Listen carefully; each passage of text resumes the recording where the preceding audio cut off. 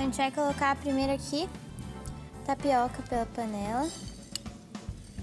A tua estratégia de colocar é. Tem uma medida certa, Maria? É Pelo olho mesmo? É, pelo olho. Até você sentir que encheu a panela assim. Entendi. E aí não tem nenhum buraquinho. Entendi. Completou, é, completou o fundo da panela. Entendi. Isso aí. Perfeito.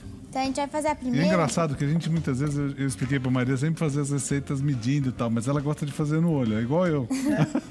eu tento explicar. Acho que ela deve ter percebido que eu faço assim, e daí ela usa a mesma estratégia que a minha. É mais ou menos isso, né, Maria?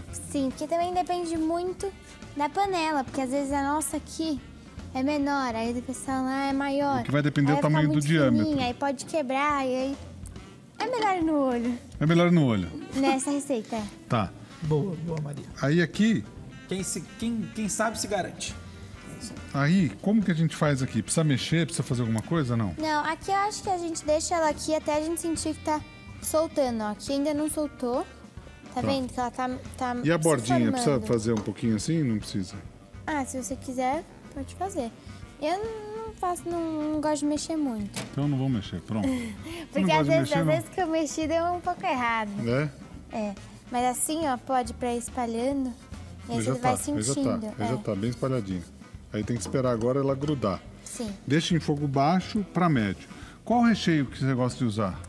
Eu gosto de usar bastante presunto e queijo. Tá. Só que como a gente vai fazer, a gente pode fazer duas tapiocas.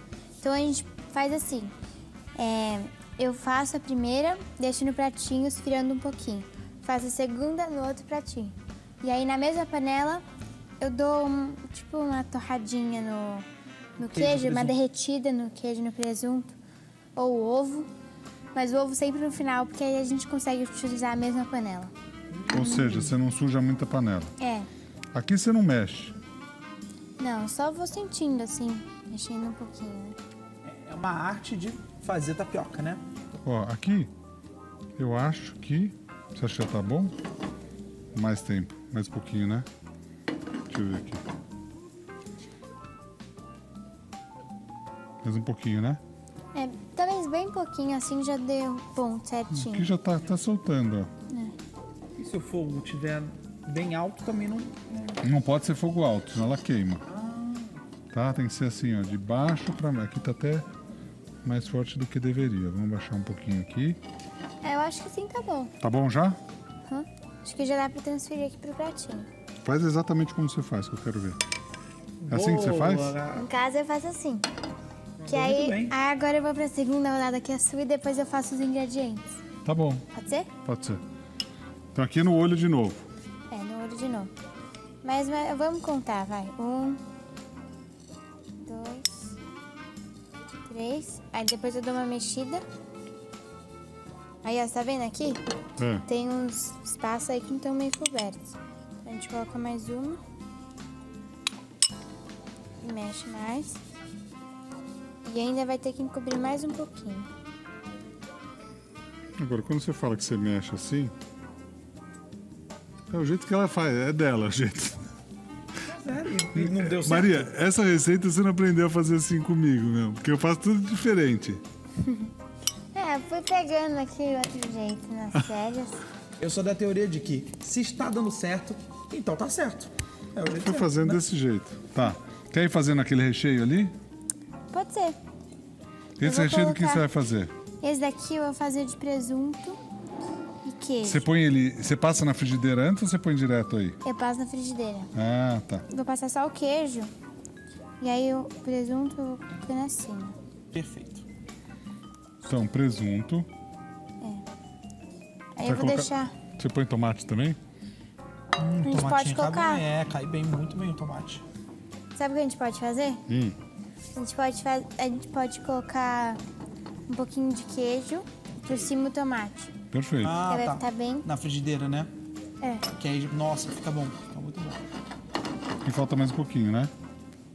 Tá quase no ponto, ó. É, tá quase. Aí não precisa colocar nada. Quem quer fazer tapioca com, só com manteiga, fica bom? Passando manteiguinha? Fica, mas Hum. eu acho melhor colocar alguma coisa. Que ela é muito fininha, vai dar uma craqueladinha, assim. Não sei se Tá. é muito bom. E eu Agora, gosto de fazer de um jeito que é tipo um rocambole. Você vai enrolando assim, Sei. Aí eu vou enrolar essa aqui depois. E depois você vai cortar? É, a gente corta, Caramba, que legal. aí fica redondinho assim, bem bonitinho. Mar, será que já tá no jeito? Acho que ainda não, né? Acho que vai mais um pouquinho, né? É, talvez. Aumentar um pouquinho Mas aqui, bem ó. pouquinho. Bem pouquinho tempo, ó. Aí ela tá mais ou menos igual, toda ela. Esse é um truque legal, você dividir em toda a panela. O que vai determinar o tamanho dela é o diâmetro da panela, né? É o lado daqui até aqui. É isso que determina o tamanho dela. Sim. Se eu tiver uma panelona desse daí, dá pra fazer? Vai Já fez? bastante. Não. Não. Eu já fiz mini. Mini você já fez, eu não? tenho uma frigideirinha. Aquela, você usa tamanho. aquela frigideirinha que você tem de ovo pra fazer. É, Aí você fez, pequenininha. é, aquela. Você acha que o tio Lucas vai gostar de qual? Da pequena, da média ou da grande? Essa que dá grande. Maria, explica pra quem quer pegar as receitas é, que não acompanhou e tal, Ah, é. como faz. Então, se você ainda perdeu aqui as quantidades dos ingredientes, você pode entrar no arroba TheChefCoedu, que vai estar lá no link. Do lado da bio do Instagram vai estar o link lá, você clica nele e vai te levar direto para uma página com todas as fotos das receitas e os ingredientes embaixo. Aí é fácil fazer. Sim. Muito bom. Eu acho que aqui, ó, enquanto a gente É. distraiu todo mundo, já deu certo. Ó, já deu uma descoladinha. Perfeito. Pode colocar aqui. Ó, foi, hein? Você faz assim mesmo. Faço. Essa- esse finalzinho pode tirar, né? Pode. Vou tirar aqui só pra limpar, tá? Tá bom. E nessa você vai colocar qual recheio? Essa daqui acho que eu vou colocar esse queijinho ralado, tomatinho, talvez um ovo. Tá bom. Pode fazer com ovo. Aí a gente coloca Aqui, ó. no final. Já tá quente a panela, tá? Tá bom. É a mesma panela, eu só passei uma água nela. O que, que a gente faz agora? Eu vou fazer o recheio dessa aqui, que eu vou Tá. pegar esse queijinho. O que você quer? Ah, tá aqui, tá aqui. Tava procurando na espátula. Mas ó, aqui eu nem solto esse cantinho, porque às vezes é mais fácil tirar assim com a mão. Se você quiser colocar um pouquinho de, de água, pode aí, viu? Pode também. Ah, Mas boa. esse é o que já? Hum? Deu certo. Deu? Super. Consegui transportar ele. Aí aqui, Quer mais um queijinho? é, eu vou colocar só mais uma fatia. Pra Pega duas, pode pôr duas, vai ficar bom. Põe- Pega mais um, joga, pode soltar. Pode soltar que eu faço a mesma coisa, eu te ajudo aí. Solta aí, ó. Solta outro aqui. Pode soltar.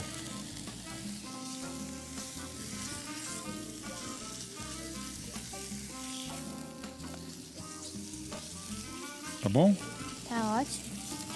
É assim que você faz? Aham. Tá. Aí depois eu dou uma espalhadinha aqui. Agora que eu quero aprender o que você faz, que ela faz enroladinho, Lucas. Eu acho legal o É. jeito que ela faz.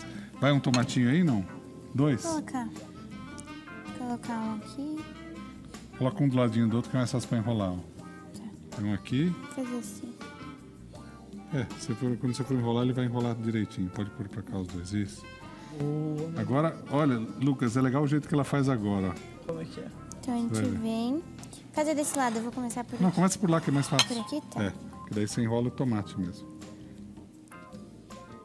Eu vou enrolando assim. Tipo um rocambole. Bem firme a mão assim. É. Tô Legal, Aí. né? Aqui dá uma apertadinha. Isso. Quer um espetinho? Quer um palito? Não Ah, precisa. não precisa não. Não. Aí, assim vai ser Vamos mais ou menos. colocar um queijinho em Queijinho cima por e cima? gratinar? Tô. É, eu acho que eu vou colocar nesse prato aqui, ó. Combina mais? É. Tá com a mão boa, hein, Maria? Tô. transferir gostei. ela. Tá. O gratineiro tá aí, Luquinhas? Aqui, tá aqui, ó. Obrigado. Nada. Olha lá, ó. Nosso cliente vai gostar dessa daí, hein? Uh, se vai. Olha! Meu Deus, Maria, tá bonito mesmo, meu. Parabéns. Viu? Aí, eu sempre corto, faço desse jeito. Opa! Tudo bem, Que é tudo até bem. mais fácil de comer mesmo. É. Você corta ela? É. Aí eu vou cortando. Tá bom assim? Ó, Nossa. tá ótimo. Pronto. Maria, quando a gente se aposentar, a gente pode abrir um restaurante, hein? Ó. E aí, o que a gente faz agora? Agora eu vou fazer o próximo recheio. Boa, que. Isso aí aqui tá o pronto, então? É.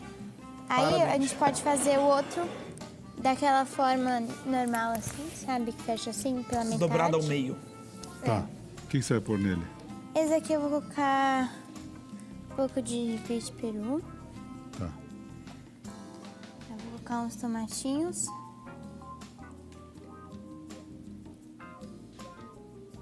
E vou Você colocar... vai dobrar? Vou, vou dobrar. Então, posso dar uma ideia pra você? Fica mais fácil você encher aqui e dobrar pra cá, Tá. pode ser? Pode ser. Tá. E eu vou colocar um... Vou quebrar um ovinho também. Você quer ele frito? Como você quer? Mexido? É legal, Fazer- né? Qual você prefere? Eu? É. Obrigado por perguntar. Eu acho que o frito. O frito é interessante porque a gente pode fazer a substituição do pão ou de algum produto de centeio, a gente troca pela tapioca.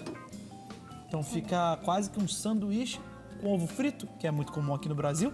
A gente agora troca o pão e substitui pela tapioca. Simples assim. Pronto, Mar. Então eu vou quebrar ele aqui primeiro. Essa gema aí tá quase. Olha, a casca tá. Uh!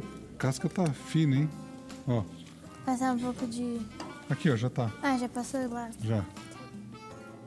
Pode colocar aqui, ó, direto. Ó. Ah, você vai colocar o ovo frito dentro da tapioca? Isso aí. Ah, entendi. Aí aqui. Vou dar uma juntadinha enquanto ele tá mais molinho. Pra caber lá. Nossa, que delícia. Maria, você jogaria algum salzinho em cima do ovo frito agora? Vai colocar já. Gostei, Maria. Aquela juntadinha aqui. Ah, isso aí que você fez outro dia em casa. Agora eu tô lembrado que você fez. Para que eu vou fazer um ovo ainda. É o ovo com tapioca. Ah, Boa, Maria. Bom, daí quando quebrava o ovinho, você fazia com a gema mole. Sai Ah, escorrendo. malandrinho, hein? Ó, Acho que assim tá bom, né? gostei. Maria. Agora a gente coloca ele aqui. Nossa. Tá craque, hein, Maria? Ó, E aí Gostei. a gente vem aqui. ô Denis, tá bom, hein, Maria? Ô, Denis, tá bom a Maria, hein, Denis? Ó, Nossa. e já tá estouradinha a gema ali. Já. Ô Maria, será que existe algum programa de culinária com apresentadora infantil? Infantil que você já tá na. Já é quase uma adolescente. Que a gente podia. A, a Raíssa, a Raíssa Leal, ela é a nossa skatista que trouxe a medalha de prata pro Brasil. Sim. A Maria, de verdade, podia também ter- competir quando já fazer o Masterchef ou até mesmo outros programas, ela podia apresentar o programa dela. Vai ser a. Porque me lembrou. Eu Pode me substituir. Não, pode ficar tranquilo, eu, daqui a pouco tô me aposentando também. Mas eu tava aqui pensando, porque a Raíssa realmente é a mais jovem a competir e ganhar. Se a gente investir na Maria como a gente, como o chefe do inverno, a gente põe ela a apresentadora mais jovem da TV brasileira, de culinária. Aí, ó. Ficou bonita essa daí também, hein? Muito legal. Parabéns, Se Maria. você Gostei. quiser, eu posso até cortar pra mostrar pro pessoal. Corta, pode cortar. Então corta aqui, quer cortar a minha? Não, não, é pra mostrar Aquela essa. ali, ó. Essa daí já tá com ovinho todo estouradinho, ó. Olha lá, o Denis vai gostar dessa ideia de cortar dentro. Ó, Hum, olha, aqui que você vê. olha que gostoso. Ó, ainda vai arrumar empinadinho, ó. Ó, Falou do skate, ó, meio empinado, skate empinadinho aí. Parabéns, Maria. agora. Muito legal. Tá com uma cara deliciosa, inclusive, hein? Parabéns, Mary. Você tá de para, ó, toca aqui. Parabéns, meu. Muito boa a receita. Obrigada. Obrigado.